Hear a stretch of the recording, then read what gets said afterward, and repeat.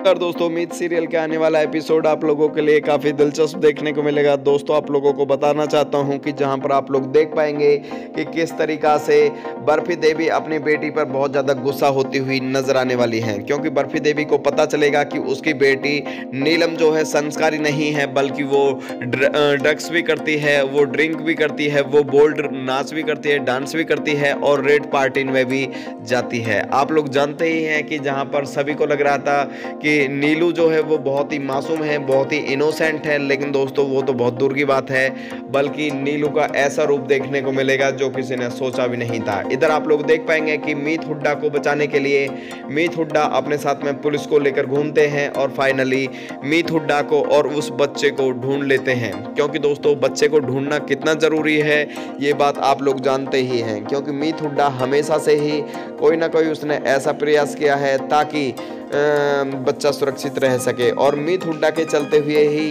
पूरी तरीक़ा से संभव हो पाया है। आप लोगों को बताना चाहता हूँ कि कहानी में एक जोरदार नया ट्विस्ट जोरदार ड्रामा देखने की उम्मीद है, जिसमें आप लोग देख पाएँगे कि पुलिस उन लोगों को भी गिरफ़्तार करेगी। जो मीत हुड्डा को मारने की साजिश रचते हुए नज़र आए थे और बच्चे को किडनैप करने की कोशिश कर रहे थे। लेकिन दोस्तों, इस सभी का जो क्रेडिट जाता है, वो क्रेडिट मीत अलावत को जाता है। क्योंकि मीत अलावत को शक हुआ था और मीत अलावत ने पुलिस को सूचना दी थी कि मेरी वाइफ और बच्चा जो कि किडनैप है और कुछ ऐसा हुआ है उनके साथ में जो बुरा है। जिसके बाद में पुलिस ने लगातार रिसर्च ऑपरेशन जारी किया।